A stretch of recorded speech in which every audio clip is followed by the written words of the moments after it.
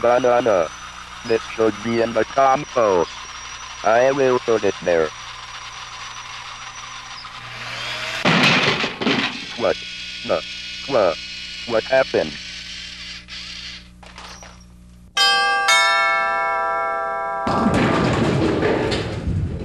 Hmm.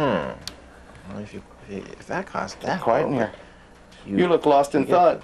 Oh, hi, Dave. How you doing? Uh, good, thanks. I'm you doing some research into full cost accounting. Ooh, I've heard of that, and it sounds like a big deal. What is it? Well, it is complex, but basically, it's a system where you take into account every event that went into a product or service and actually attach a price to it.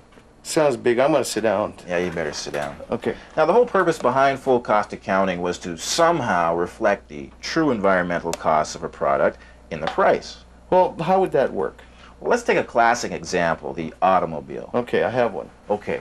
Now, we know the direct costs of an automobile. You got the raw materials, You gotta buy steel. you got the production, You gotta pay people. you got the distribution, You gotta. get the cars to places where people can buy them, Ah, okay. and you got promotion. Right, and I hear that they pay a lot of money to produce and play those car ads, especially during a football game or something. It costs a lot of money. Right, but I pay for that. I know that when I buy the car. I paid for all of that stuff. So what's the big deal? But you didn't necessarily pay for the indirect costs. Hmm. Emissions. Okay, so that's my tailpipe. Like uh, stuff comes out of my tailpipe. Right, carbon dioxide and ground level ozone, which contributes to smog and health Right. problems. How do you put a dollar value on that? Uh, hmm, I'm not sure actually. Oh. Well, what about the emissions from the factory too? Do you factor those in? Yeah, and the plant that generated the electricity that the production plant that makes the car uses. Oh, well, wait a minute. If you're going to take all that into account, it gets too complicated. Let's move on to another point. uh, support. Okay. Well, you got to make roads for the cars to drive on. You have Yeah. to repair the roads. Okay, well, we- that's easy. To, you know the cost of that. Yeah. Well, but wait a minute. That you're using trucks to build those roads that also have emissions. Do you take that into account? Uh, I guess you have to. And there's And- also police and, and, and ambulance and Oh, and you have to pay the people who make the roads. yeah, Oh, that's too complicated. Move on.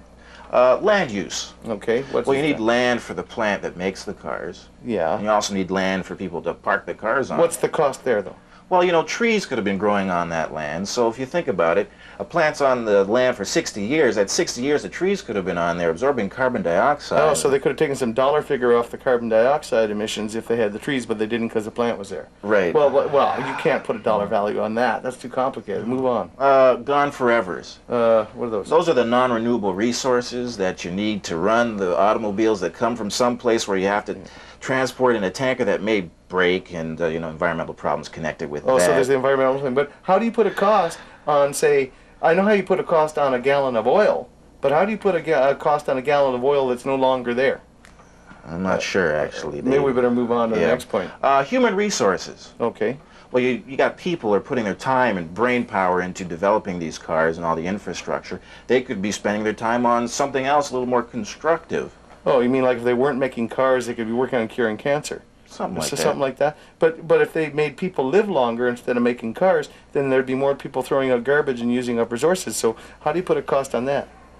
So this so this is full cost accounting, is it? Well, Doesn't sound like it adds up to me. Well, look good on paper, Dave.